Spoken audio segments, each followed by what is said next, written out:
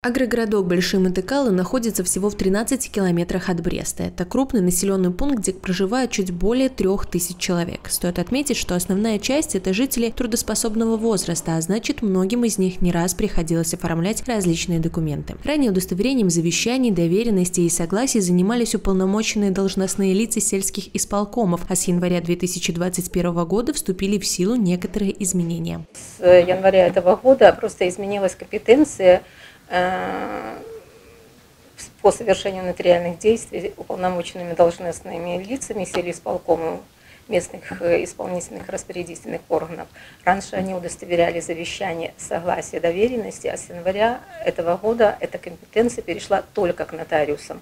Поэтому еще э, в связи с тем, что такие действия могут совершать только нотариусы, поэтому, естественно, количество людей увеличилось. Нотариусы Брестского нотариального округа ежемесячно выезжают к жителям сельских населенных пунктов для осуществления своей деятельности. Они консультируют, разъясняют, помогают. Тем более, что вопросы, с которыми чаще всего обращаются люди, касаются составления завещания, удостоверения доверенности и оформления наследственных прав, что входит в компетенцию нотариуса. Это очень удобно и здорово, что к нам на местный сельисполком приезжает нотариус. Не надо сидеть в огромных очередях Бресте, тратить весь день. Это экономия времени и решение любого своего вопроса. Быстро и доступно. В этом смогла убедиться и Надежда Залецкая, жительница деревни Скоки. Вопрос, которым обратилась к нотариусу женщина, не мог ждать. Он касался наследственных прав. Я пришла с вопросом по наследственному делу. У меня умер муж, и после него остались и дом, и земля, которые требуют дальнейшего, так сказать, его использования. И дети есть двое, поэтому я пришла сюда на консультацию. Все ответы, которые я хотела получить, я получила, поэтому Нине Петровне спасибо большое. Разъяснила все, разжевала по полочкам, разложила.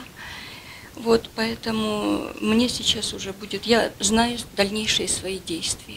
А это самое главное, ведь когда человек остается один на один с вопросами нотариального характера, разобраться с ними самостоятельно достаточно трудно. А потому специалисты выезжают в агрогородки и иные населенные пункты для осуществления нотариальной деятельности, чтобы обеспечить доступность услуг нотариусам. Для записи граждан на прием к нотариусу ведется журнал предварительной записи на прием.